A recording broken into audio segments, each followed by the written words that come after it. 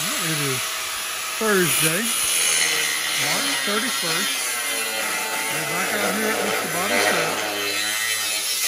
And what you see cutting on there is ultimately going to become a transition piece. It's going to sit